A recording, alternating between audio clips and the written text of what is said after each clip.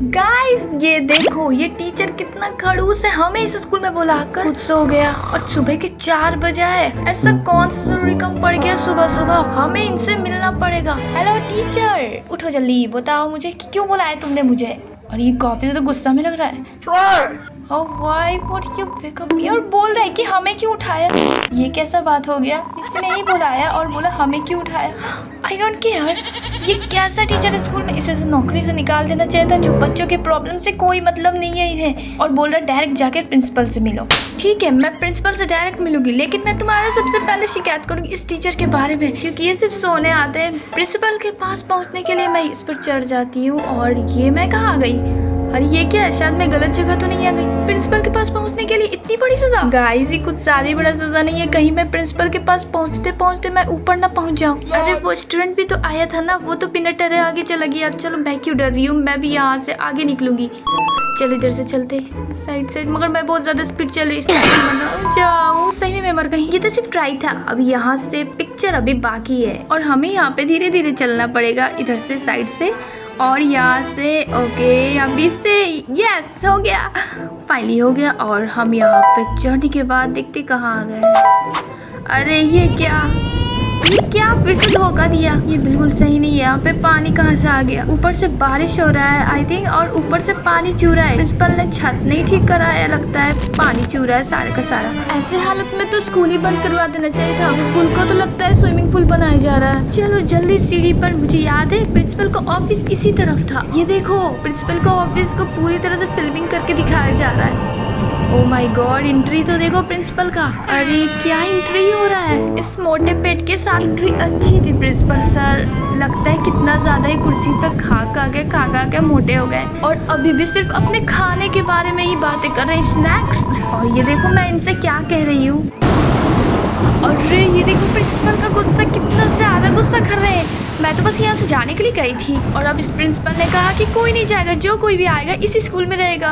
ये तो सोचने वाली बात है, क्या ये स्कूल हमें रहने के लिए रूम और खाने के लिए खाना प्रोवाइड कराएगा? एक तो छत ठीक नहीं है और ये रहने के लिए कैसे कह दिया?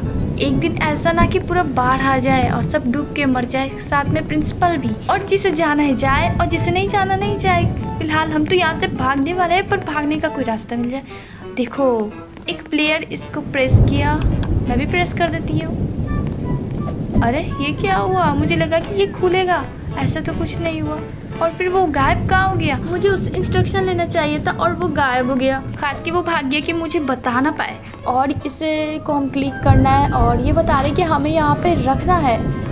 पर ये तो काम करने को कह रहा है स्कूल का। साफ़ सफ़ाई करने के लिए कह रहा है क्या?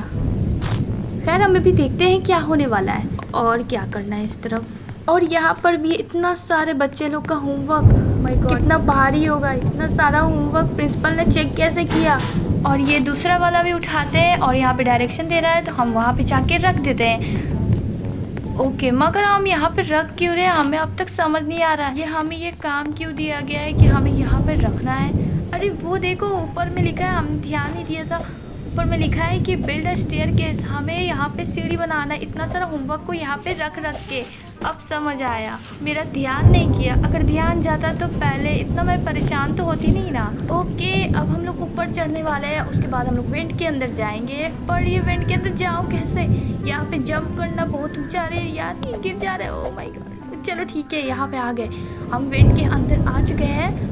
गिरते गिरते बचे हैं। चलो आगे की तरफ़। और यहाँ पे इतना सारा फुट स्टैप दिया है और ये हमें डायरेक्शन दे रहा है कि हमें कहाँ कहाँ जाना है। वो देखो यहाँ सामने भी है फुट स्टैम्प और इधर शायद इस तरफ़ भी है। ओके, यहाँ भी है और यहाँ पे लाइट पड़ रहा है। यहाँ पे इस पे स्टैंड खड़े हो जाते हैं। अरे, ये कहाँ गए?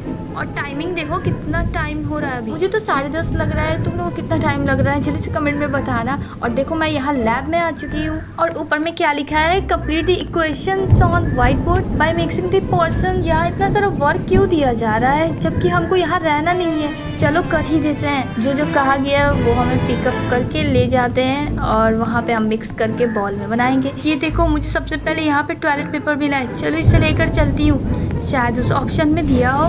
दिया ही होगा। यहाँ पे लेके चलते हैं और देखो यहाँ पे मिक्स करते हैं यहाँ पे। ओके हाँ यहाँ पे था।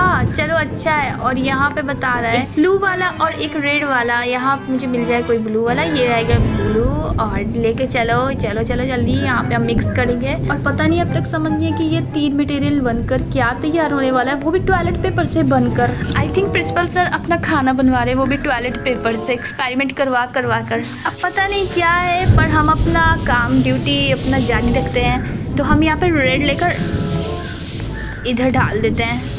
ओके, ये देखो, ये तैयार हो गया है और हम इसे जाकर माइक्रोवेव में डाल देंगे।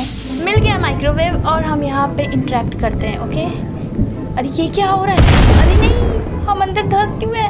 एक लड़की जल्दी से डालकर भाग गई थी और हम यहीं पर खड़े थे और हम अंदर चले आए। ये क्या है? ये तो वही प्रिंसिपल लग रहा है ना? हम तो इसके लिए खाना बना रहे थे और ये हमें डरा रहा है। क्या यार? अभी तो हमें कितना टास्क दिया है। गाइस जल्दी से बताओ इसका पार्ट टू लाओ कि नहीं लाओ? क्योंकि हमें यहाँ इस स्कूल से निकलना है तो तुम लोग कमेंट में लिख कर बताओ और सब्सक्राइब कर दो चैनल को ताकि नोटिफिकेशन आए और वीडियो को लाइक कर देना पसंद आए तो।